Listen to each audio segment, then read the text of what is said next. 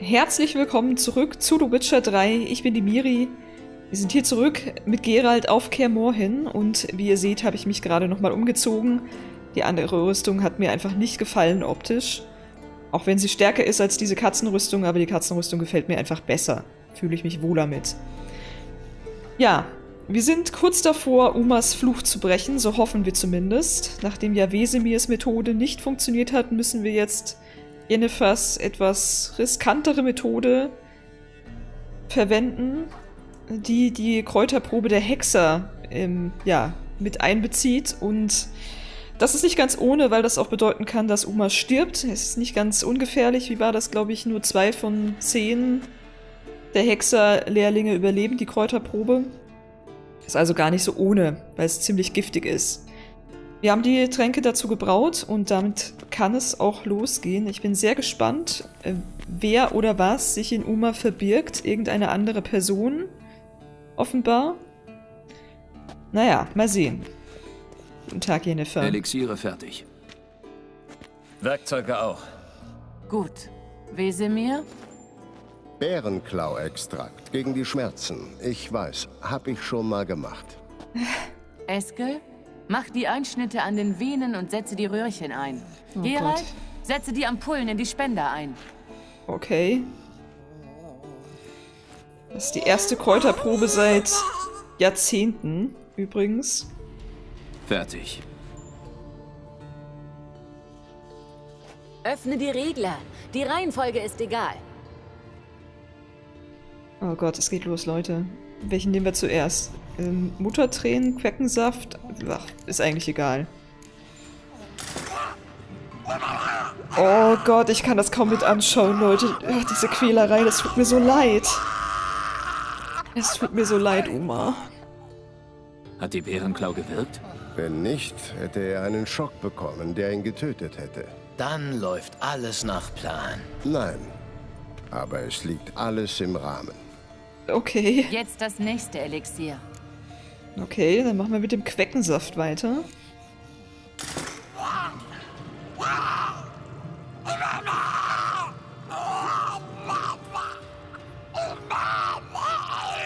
Oh Gott, selbst Wesemir hat Probleme, das anzuschauen, ne? Ich hatte gehofft.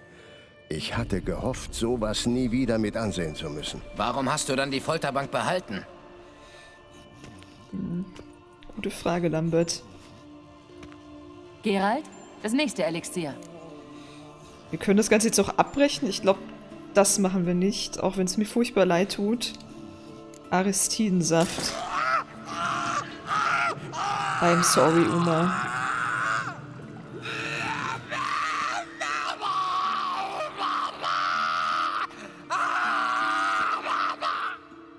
Armes, armes Ding. Oisi, Kefün. Und jetzt? Jetzt warten wir, dass die Elixiere ihre Wirkung entfalten. Könnte einen Tag dauern. Vielleicht länger. Ihr braucht nur zu warten, ja. Ich muss den Stabilisierungszauber aufrechterhalten. Umas Körper ist lange nicht so robust wie der eines jungen Hexeranwärters. Ohne den Zauber würde er... Okay, kotzen offenbar. Eskel, es tut mir leid. Würde es dir was ausmachen? Lappen zu holen? Schon unterwegs. Jennifer einmal vollgekotzt. Oh mein Gott. Unser alle am Putzen. Kann nicht glauben, was wir hier machen. Kotze aufwischen? Nein, die Probe. Wenn Ciri da drin steckt, könnte sie verkrüppelt werden. Wirr im Kopf oder gefühllos. Schon mal überlegt? Ja. Aber Uma ist ähm, jetzt auch nicht sehr viel besser, würde ich sagen. Ich sag mal, Yen weiß, was sie tut. Ich vertraue Yen. Sie weiß, was sie tut. Das bezweifle ich nicht. Aber wissen wir auch, was sie tut? Hat sie dir die Erfolgsaussichten gesagt? Meine Herren, sauberer wird der Boden nicht mehr. Und ich müsste bitte auch noch abgewischt werden.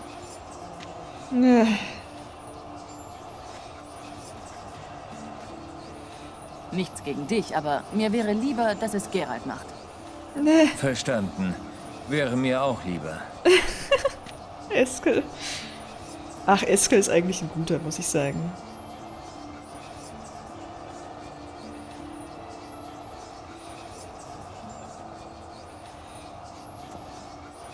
Na? Oh Gott, Eskel schläft schon fast.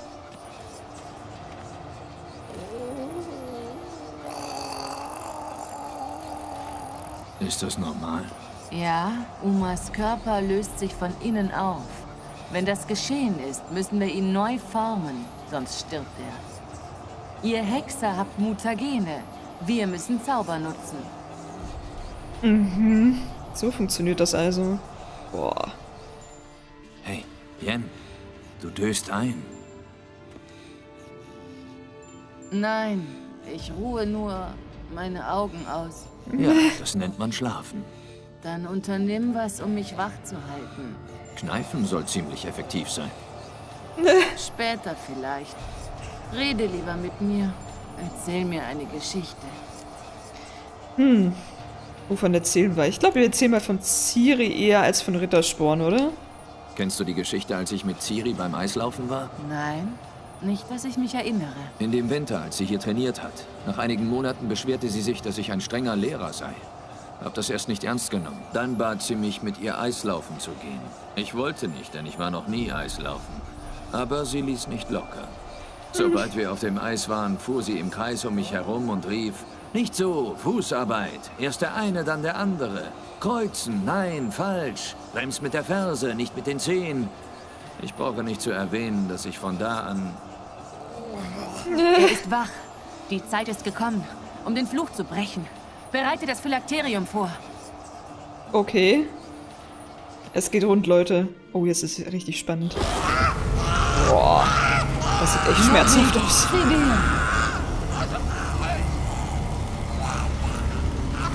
Kamertant, Movie, Civil, Kuale, Arriva, Andy. Oh, das scheint nicht geklappt zu haben. Nein, nein, ich lass das nicht zu. Na? Geralt, die gelbe Flasche in meiner Tasche. Ruhe! Hört zu. Aha.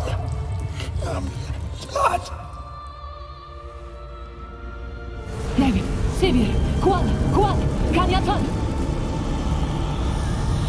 Oh, es geht wohl wieder rum. Nevik, Arriva, Andy. Geralt, das Phylakterium macht's auf. Okay. Das war's? Oha. Das sieht nicht nach einer Frau aus. Das ist nicht Ciri.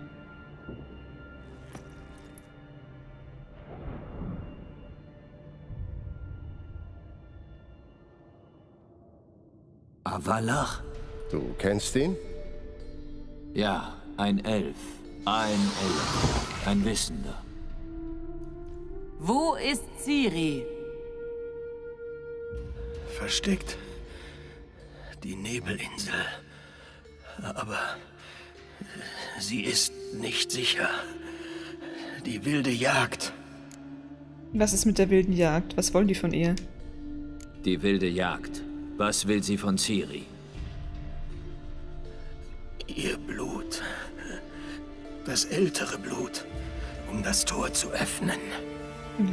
Das dürfen wir nicht zulassen. Ja, das dürfen wir mit Sicherheit nicht zulassen. Ja, das ist alles so ein bisschen was, was auch in den Büchern schon Thema war. Also Avalach kennt man auch daher schon. Und ja, die wilde Jagd war auch da schon hinter Ciri her. Okay. Und wo ist denn die Nebelinsel? Die Nebelinsel. Wo liegt sie? Überall. Und nirgends. Hör zu, Wissender. Wir haben den Fluch nicht gebrochen, um Rätselraten mit dir zu spielen. Revein. Arvein. Siraen. Was passiert jetzt? Ins Gellige. Folge ihm. in den Nebel. Beeile dich, schnell. Ich wollte sie beschützen. Aber der Fluch, die wilde Jagd, hat die Insel nicht gefunden. Bisher. Nur eine Frage der Zeit. Doch wenn sie sie verlässt, werden sie sie finden. Sofort. Es reicht, Geralt. Er ist dem Tod noch nicht entronnen. Wird er sich erholen? Machen wir das Wird er es schaffen? Ich weiß es nicht. Nicht alles lief wie geplant. Ich habe den Fluch gebrochen, aber Die Probe hat in seinem Körper gewütet. Wild zuckende Finger, Pupillen, die nicht auf Licht reagieren. Schon oft gesehen. Zu oft. Die Gifte haben sein Nervensystem dauerhaft beschädigt. Selbst wenn er überlebt. Versteht ihr? Okay. Das heißt, wir haben jetzt zwar den Fluch gebrochen, aber ihn trotzdem irgendwie umgebracht. Hm, Unschön. Ich werde Ciri suchen. Nicht so eilig. Denkst du nicht, dass du uns Antworten schuldest? Woher kennst du diesen Avalach? Was hat Ciri mit ihm zu tun? Das kann euch Jennifer erzählen. Behaltet ihn im Auge. Er ist kein Freund. Vielleicht nicht, aber Ciri scheint ihm vertraut zu haben. Wir sollten seine Worte zumindest ernst nehmen. Du hast gehört, was er gesagt hat. Verlässt Ciri die Nebelinsel, nimmt die wilde Jagd sofort ihre Spur auf. Was dann? Tja, was schlagen wir denn jetzt vor? Was, wir werden sehen. Wir, wer, wir werden sie erwarten. Ja, was schlägt er vor? Was schlägst du vor? Ciri kann nicht für immer fliehen. Eines Tages wird sie stolpern und sie wird keine zweite Chance bekommen. Es ist an der Zeit, dass die Gejagten zu Jägern werden. Geralt sucht Ciri und bringt sie her. Und die wilde Jagd wird ihnen folgen. Sie denken, dass sie uns überraschen. Aber wir werden sie enttäuschen. wollen wir gegen sie kämpfen? Wir fünf? In einer verfallenen Burg? Haben wir eine andere Wahl? Außer das Unvermeidliche hinauszuzögern? Unser Hübscher hier könnte einige Leute zusammentrommeln, die mit dem Schwert umgehen können. Oder mit Magie? Ja. Na gut. Äh, ich werde Verbündete sammeln. Was hast du vor? Fragen wir erstmal nach Verbündeten, ne? Gut. Ich hole Ciri und eure Verbündete an. Bringe sie alle her. Es gibt einige, die mir noch einen Gefallen schulden. Sind auch hübsche Frauen dabei? Keine anderen. Okay, was hat sie vor? Und? Was habt ihr vor? Ich muss mich um Avalach kümmern. Ohne sanfte magische Behandlung wird er sterben. Wenn ich ihm helfe, besteht Hoffnung. Nicht viel, aber besser als keine. Die Jungs und ich werden überlegen, wie wir die ungeladenen Gäste begrüßen. Na gut, Zeit, dass ich mich auf den Weg mache. Viel Glück, Wolf. Und Grüße Cyrilla lieb von uns. Ja.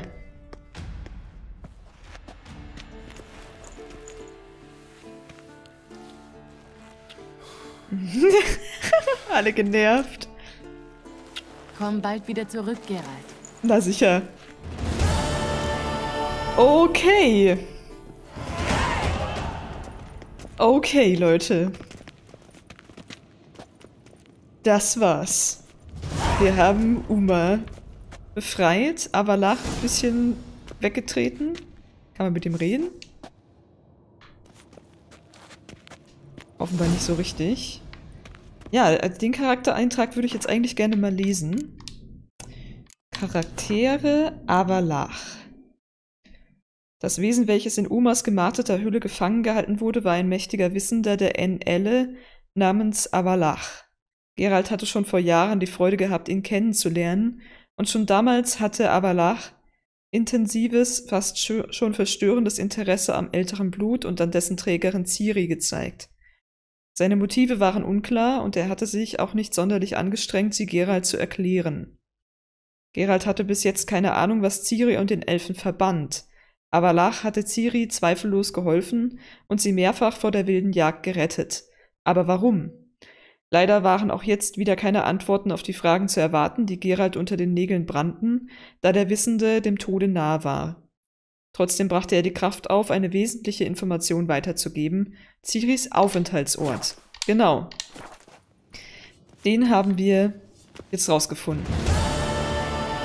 Ach, welche Freunde wollen wir denn jetzt zu, um Unterstützung bitten? Also ich erinnere mich, ähm, dass wir eigentlich auch ein paar Leute hierher geschickt hatten. Ah, Waffenbrüder in Nilfgaard, Emhirfa Emreis. Wir können Dijkstra, Roche und Soltan anfragen. Gut, mit Triss können wir nicht weitersprechen, denke ich. Auf Skellige können wir mit Moisak, Krach und Ceris sprechen. Ja. Okay. Da gibt es ja doch einiges zu tun. Das bedeutet, dass wir in alle Regionen auch nochmal hinkommen. Außerdem haben wir ein paar Punkte zu verteilen. Das werde ich dann mal gleich machen. Hier die Brennenladung würde ich gerne noch weiterentwickeln. Wir haben hier auch wieder einen Mutagenplatz. Mal gucken, was habe ich denn hier zur Auswahl? Ähm, Zeichenintensität. Ja, das müsste ich dann erstmal nochmal herstellen. Alchemistische Substanzen, blaues Mutagen. Eins, zwei, drei. Ein großes blaues Mutagen. So. Und dann hätten wir hier noch mehr Zeichenintensität, die wir jetzt eigentlich nicht brauchen. Ne? Also wir sind dann jetzt bei plus 70% Zeichenintensität. Das ist schon ganz schön heftig. Stufe 30. Also auf der nächsten Stufe wird dann noch der letzte Platz freigeschaltet. Naja, okay. Ja, mit wem fangen wir an? Hm. Skellige, Novigrad, Nilfgaard, Wüsima. Mich befällt auf, dass Wählen nicht dabei ist. Das kann aber sein, dass das quasi schon abgeschlossen ist, weil wir hatten ja mit Keira und Leto gesprochen, dass die uns helfen sollen. Jetzt muss ich mal gucken, ob ich das hier zufällig sehe. Hier, Waffenbrüder wählen.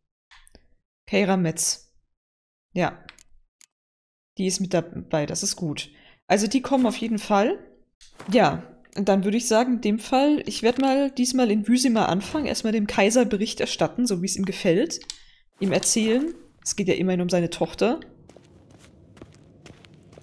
Und dann machen wir entweder in Novigrad oder in Skellige weiter. Mal sehen, was sich dann da so anbietet.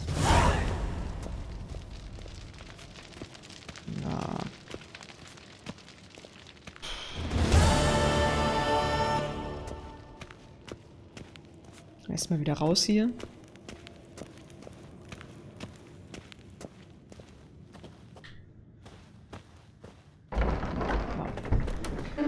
Gut, los geht's. Wir müssen erstmal zum Schnellreisepunkt. Von hier aus kommen wir ja sonst nicht weg.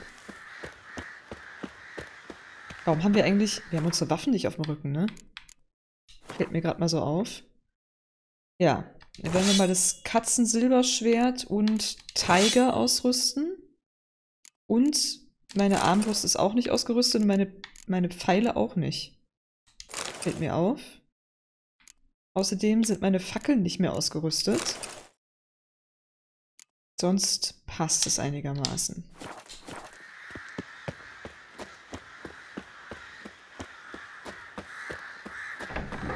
So, los geht's durch die ganze Festung. Ein bisschen abkürzen.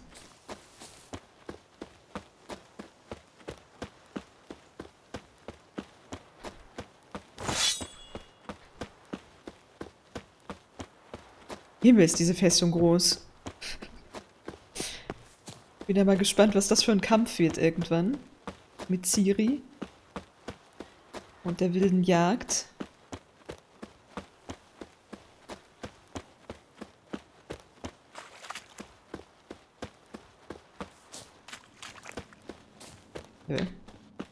Hier geht's raus. Genau.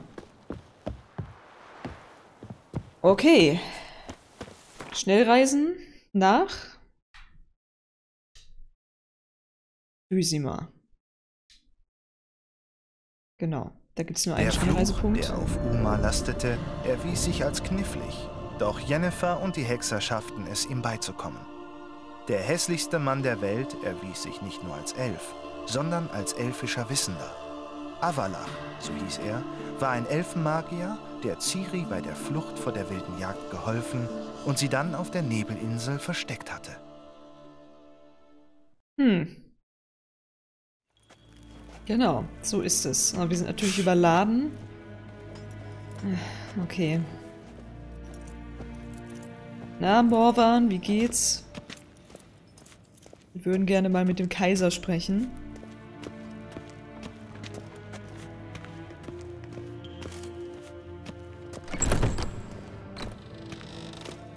Lalala.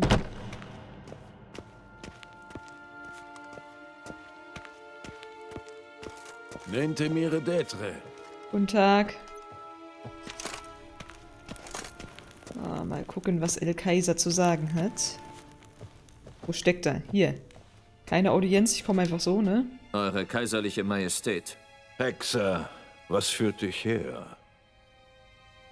Ich habe herausgefunden, wo Ciri ist. Endlich. Ich hatte langsam schon bezweifelt, dass du der Richtige für den Auftrag bist. Bring sie sofort her. Die wilde Jagd verfolgt sie. Kermorhen ist der einzige Ort, an dem sie sicher ist. Das war kein Vorschlag. Ich kann meine eigene Tochter verteidigen. Gegen die wilde Jagd bezweifle ich das ein bisschen. Ich würde mich lieber selbst darum kümmern. Das bezweifle ich nicht. Gegen gewöhnliche Feinde. Aber die wilde Jagd ist anders. Sich ihr hier zu stellen, würde Wysima in Gefahr bringen. Hunderte Unschuldige könnten sterben. Kermorhen liegt in der Wildnis und eure Armee wäre dort weitaus hilfreicher. Hm. In Ordnung. Ich schicke einen Banner mit. Unter der Bedingung, dass General Voorhees das Kommando führt. Wohl kaum. Dem kann ich nicht zustimmen. Und ich kann nicht zulassen, dass Hexer meine Truppen befehligen. Nun, ich werde nicht nachgeben. Und ihr sicherlich auch nicht. Es tut mir leid, eure Zeit in Anspruch genommen zu haben, Majestät. Bring mir Ciri. Das werde ich, wenn sie es möchte.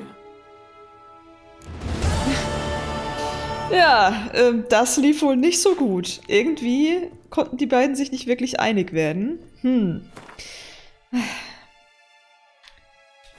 Ich hätte ja gedacht, wenn das seine Tochter ist, dass er dann vielleicht ein bisschen mehr nachgibt, aber ist wohl nicht so.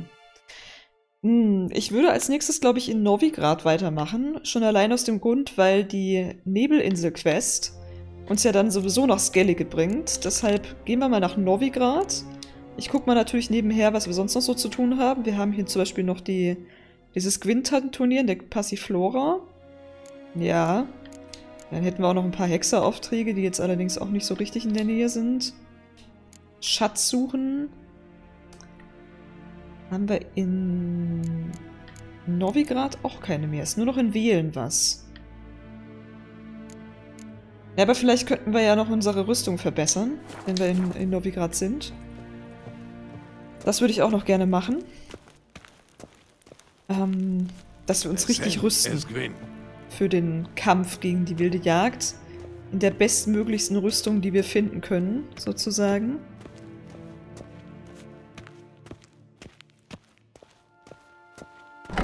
Gut. Einmal hier raus. Kann ich hier auch... Ach nee, ich kann hier nicht rennen, weil ich überladen bin, genau. Das war ein bisschen übertriebener Schrei, oder? Dafür, dass ich jetzt einfach nur an der vorbeigelaufen bin und sie in mich reinrennen wollte.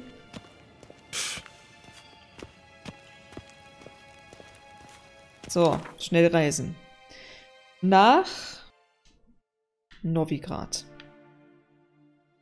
Wo legen wir denn los? Hm, mit... Achso, wir sollen mit Roche... Roche befindet sich aber in Ochsenfurt. Hier in der Nähe. Wäre auch eine Idee, dass wir mit ihm anfangen. Weil ich hier in der Nähe... Da müsste ich auch nochmal irgendwelche Quests haben. Entweder das oder ich fange in Novigrad an und gehe dann auf dem Weg hier runter. Wäre auch noch eine Idee. Ja, ich fange mal in Novigrad an. Ich würde gerne erstmal eine Rüstung verbessern. Ähm, legen wir hier bei der St. Gregors Brücke los. Gut. Habe ich die Wäsche aufgehängt oder nicht? Hier sind wir. Jetzt kann ich dir nicht sagen, ob du die Wäsche aufgehängt hast. Also, ich bin gerade erst angekommen.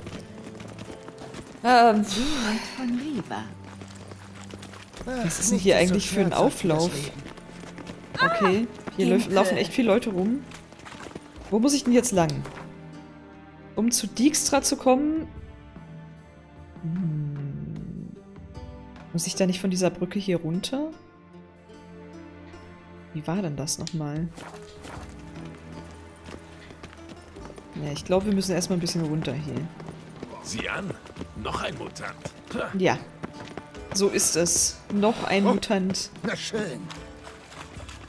Die Passiflora müsste ja eigentlich auch hier in der Nähe sein, oder? Die war doch hier oben. Das ist die Passiflora. Hm. Na gut. Oh. Oh. Lass einen von denen rein, gleich macht sich der ganze Stamm bei dir breit. War das jetzt hier lang? Was willst du hier verdienen? Wir haben keine Monster. Ja, genau, hier. Hier war das. Da ist Dijkstra. Was ist, grauer Junge? Suchst du nach einem Abenteuer?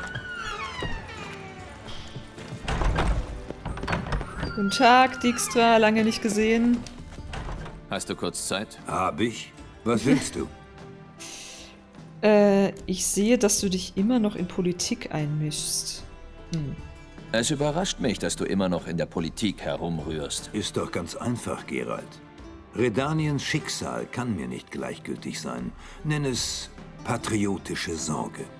Ach, aus Sorge willst du Radovid kalt machen? Ich denke oft an das Land und seine Zukunft. Und mir wird immer klarer, dass Redanien keine Zukunft hat, solange Radovid auf dem Thron sitzt. Hm. Okay, das ist seine Begründung. Gut. Die wilde Jagd. Ich brauche Hilfe im Kampf gegen sie. Mal sehen, was er dazu sagt. Ich wusste nicht, ob ich dich fragen sollte. Ich bin mir immer noch unsicher, aber was soll's. Ich brauche deine Hilfe. Oh, meine Hilfe. Sehr interessant. Erzähl. Die wilde Jagd wird bald Kermorhen angreifen. Das ist sicher. Ich suche Leute, die mir helfen, sie zurückzuschlagen. Die wilde Jagd. Sag bloß nicht, dass du an diesen Schwachsinn glaubst. Das Hm. ist kein Schwachsinn. Das habe ich schmerzhaft am eigenen Leib erfahren. Tut mir leid, Gerald. Aber ich habe meine eigenen Probleme. Ich habe mein verlorenes Eigentum noch nicht zurück. Deine Hilfe, wie du weißt, ließ zu wünschen übrig. Hm. Ich schulde dir also einen Dreck. Das war jetzt auch nicht so erfolgreich. Das heißt, wenn wir sein Geld gefunden hätten, dann wird er uns vielleicht sogar helfen. Ah, Na gut, dann müssen wir wohl ohne ihn klarkommen. Okay, dann werden wir in der nächsten Folge damit fortfahren, neue Verbündete zu suchen. Bis dann, macht's gut, eure Miri.